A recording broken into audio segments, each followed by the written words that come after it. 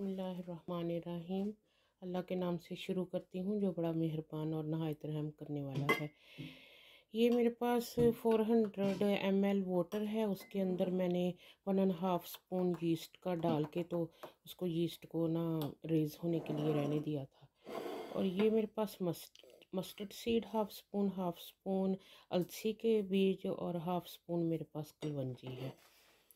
और ये मेरे पास वन के जी फ्लावर है, मैदा जिसको बोलते हैं ऑल पर्पस फ्लावर इसके अंदर ये सारी चीज़ें मैंने ऐड कर दी।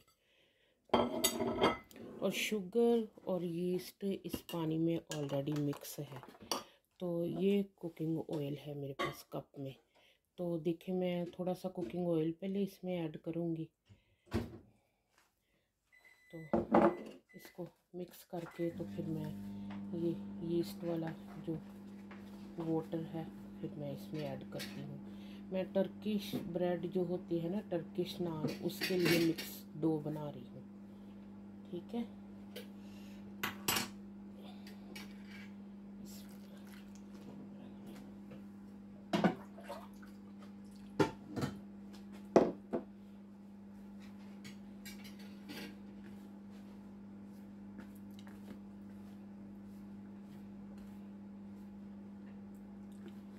ये प्लेन वैसे वोम वाटर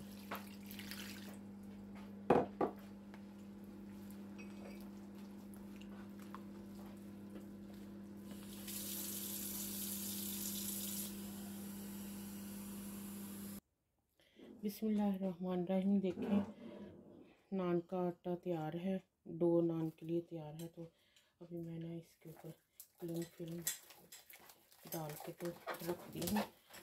दो को ना हम एटलीस्ट फोर आवर